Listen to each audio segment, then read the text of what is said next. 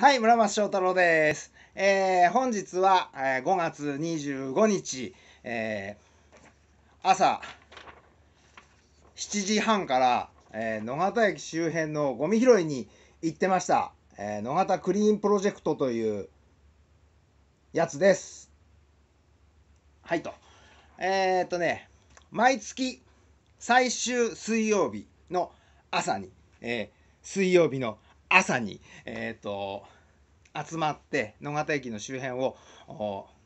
掃除するっていうのになんで俺が参加してるんだとあねあの参加するたんびにその Facebook に上げ Twitter 始まったら Twitter にも上げるようになってであのやりましたっていうのだけポコッと出してなんでだと？うんえーちなみにあの参加した人は誰でも参加できますので、えーまあそれはおいおいな中で見てもらってえっ、とねなんでかっていうと一番最初にねあの Facebook を始めたところからまで遡るんですけどえっ、とね2015年の6月なんだと思うんですけど調べてみたらあのうちのバンマスが「あの翔太郎お前にだけなあの連絡個別にメールでするのもめんどくさいからあのスマホ買ってくれと。でスマホ買ってくれたらメッセンジャーっつうのでメンバー全員に行くからって言われてで「はい分かりました」って。あの基本的に俺はあのバーマスに対してだけは「あのはい分かりました」しか言わないのであのねお金をいいてるってのはそういうことなので。あえっとあんまり言うと怒られる。えっ、とねででまあやったわさ。で俺全然分かんなくてで分かんないままああのまた別に機械に関してはあの詳しくないとかそういうことじゃなくてあんまあんまりやりたくなかったっていう理由のはまた別のところで話すけどまあ Facebook っていうの入れないとメッセンジャー使えないっていうのも知らなくてであのあの時誰かな？誰に聞いたのか忘れちゃったけど、まあ、とりあえずまああの Facebook 入れました。でまあ名前入れてさであの登録したらなんか知らないけどほらね今わかるよ。それは電話帳とほら同期してるからって。あれ切っときゃ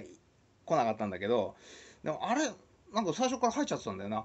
やってもらやってくれた人が入れちゃったのかな？わかんないけど。でそれでうわーっとこうなんか友達申請来るからあれ？と思ってまあまあほっとけばいいんだけど根がさあんまあんま言いたくないけど真面目じゃん俺。であの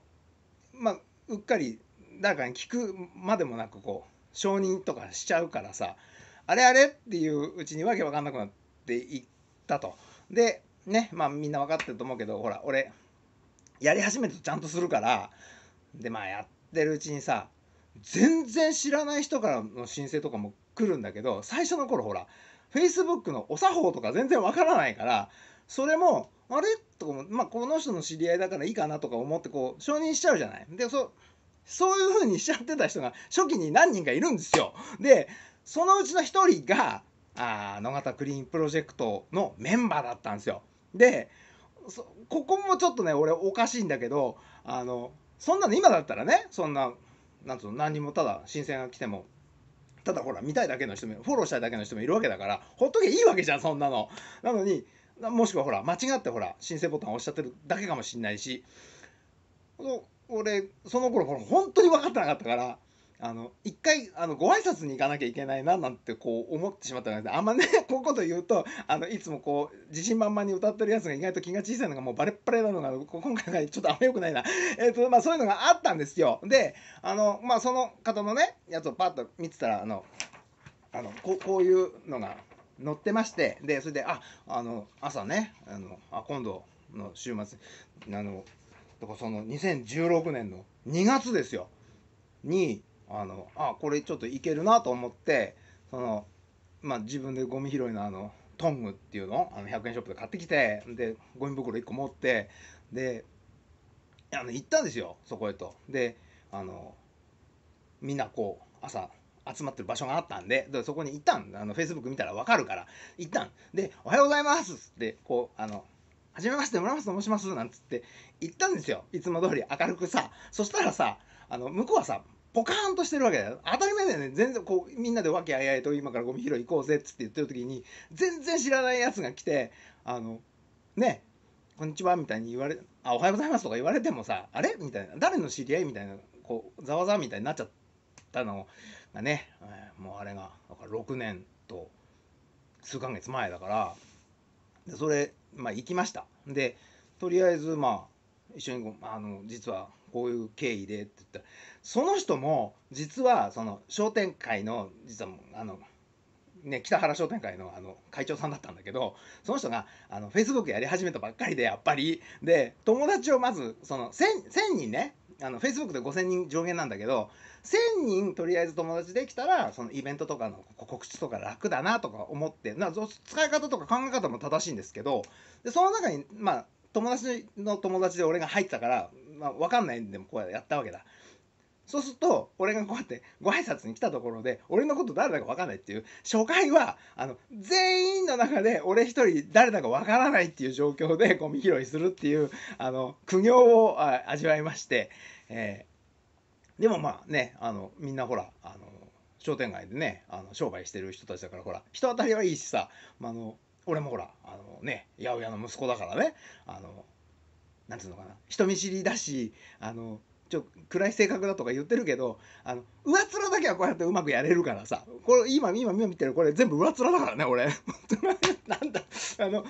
でそうやってまあ仲良くしてくれた。でその日終わりましてでねみんなでコーヒー飲みますかっつって、まあ、あの各自自分の飲みたいもの頼んであの自分でお金払って飲んででね30分ぐらい